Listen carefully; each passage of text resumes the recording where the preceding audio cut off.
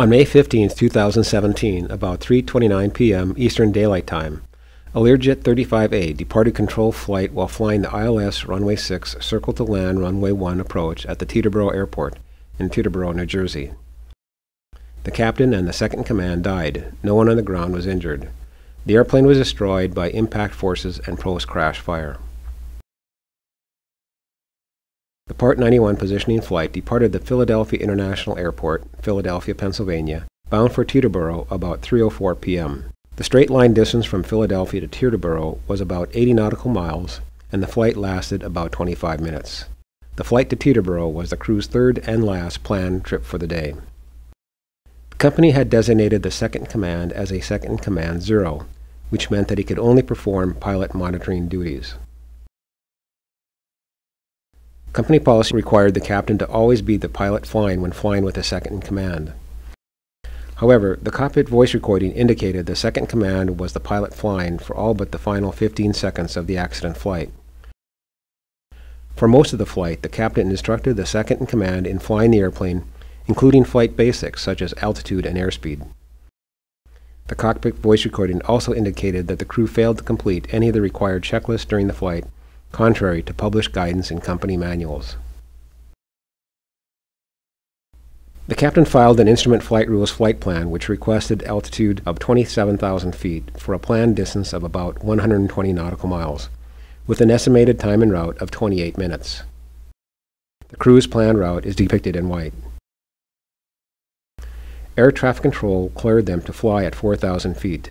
They were cleared for a slightly shorter route, shown in blue. The white arrow indicates the airplane's position and heading, and the magenta line shows the airplane's actual ground track. During the climb and level off at 4,000 feet, the captain instructed the second command to keep the airspeed below the FAA restriction of 250 knots for flight below 10,000 feet. Radar data indicated that the crew exceeded the airspeed restriction multiple times during the 25-minute flight. About eight minutes into the flight, when the airplane was only about 54 miles from the Teterboro airport, the captain requested a higher altitude, not realizing how close they were to the airport. The controller denied the request, saying it would require the airplane be turned away from Teterboro to be resequenced. 452 Delta Alpha, any chance it can higher? 452 Delta Alpha, unable higher. I would have to spin you back around and sequence you with the rest of the traffic going into Teterboro. About two minutes later, when the airplane was about 48 nautical miles from the Teterboro airport, air traffic control began vectoring the airplane for the ILS Runway 6 Circle to Runway 1 approach to the Teterboro airport. Clear 452 Delta Alpha, New York approach, Newark altimeter 2975, fighting 020, vector ILS 6, Circle 1. Okay, we got uh, 299 here, or excuse me, what was that again? Say that again for 452 Delta Alpha. The altimeter is 2975 at Newark. We're 2 Delta Alpha, flighting 020, vector ILS 6, circle 1. Okay, 020, 452 Delta Alpha. The cockpit voice recording indicated that the captain questioned the reason for the vectors and assigned approach, because he told the second command that they were still hundreds of miles away. About 26 seconds later, air traffic control gave a descent clearance.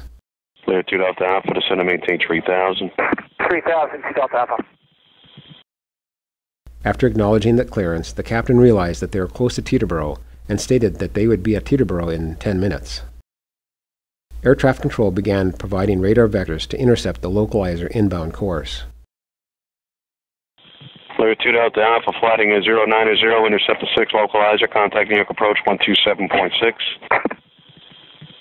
Okay, 127.6, fly heading 090 to intercept the 6 and the Teterboro, 452 Delta Alpha. While attempting to join the localizer, the second command mistook the Newark International Airport for Teterboro and told the captain that he had the runway in sight. The airplane flew through the localizer course of 060 degrees, and shortly after, air traffic control stated the following.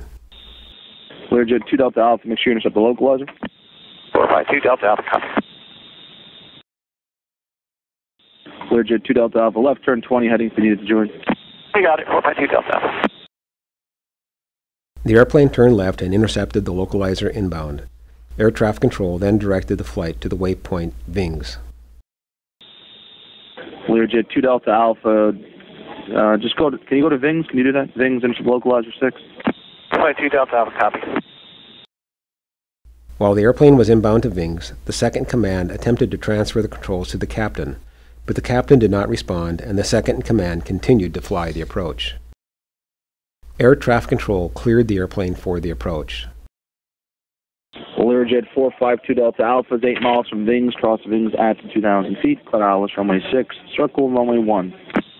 Okay, cleared ILS 6, circle 1, uh, Vings 2000, 452 Delta Alpha. The pilots did not conduct an approach briefing before beginning the approach, contrary to published guidance in company manuals. The captain stated to the second command that they'd be circling to runway 1 and would be descending to the circling minimums of 760 feet. The Teterboro Airport is located near Newark, John F. Kennedy, and LaGuardia airports. To avoid conflicts with those airports, aircraft landing at Teterboro when the wind is from the north are often vectored to approach from the west then circle to land to the north on runway 1. The white line shows the ground tracks of previous aircraft flying the same circling approach that was assigned to the accident airplane.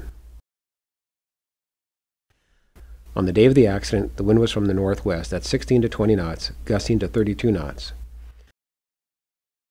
The initial approach clearance issued to the airplane was to fly the ILS runway 6 circle to runway 1. Airplanes flying this approach were typically told to circle at Torby, which was 3.8 nautical miles from the approach end of runway 6. After Torby, they would turn right and visually fly toward MetLife Stadium, and then turn left to line up with runway 1. About three minutes after receiving the approach clearance, air traffic control instructed the flight to do three things. 1. Contact Teterboro Tower. 2.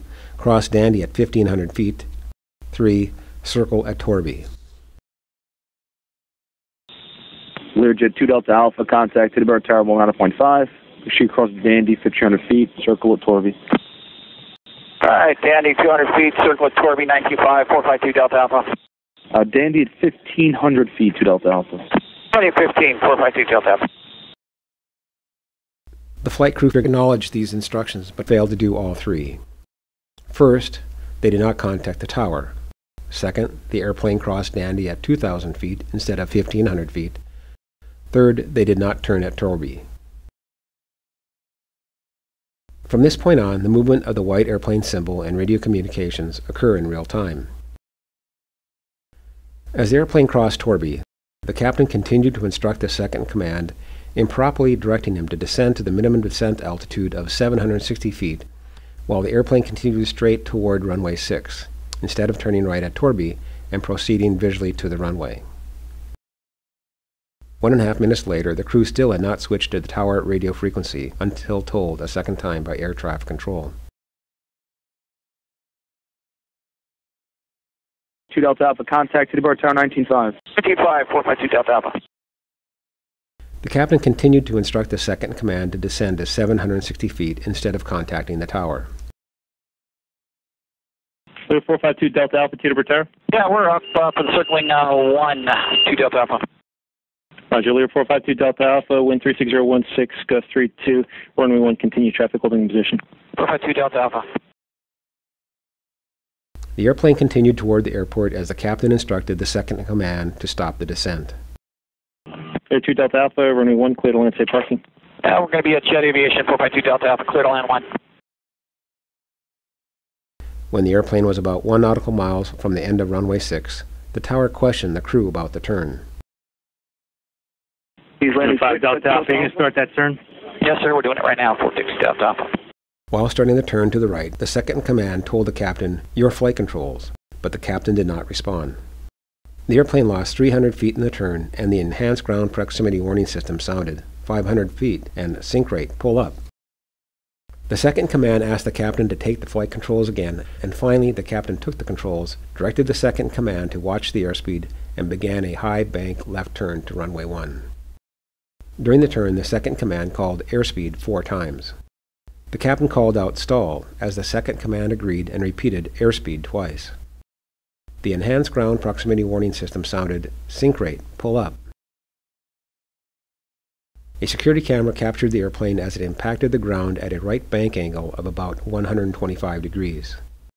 The airplane crashed in a parking lot less than one mile southeast of the Teterboro Airport about 15 seconds after the captain took the controls.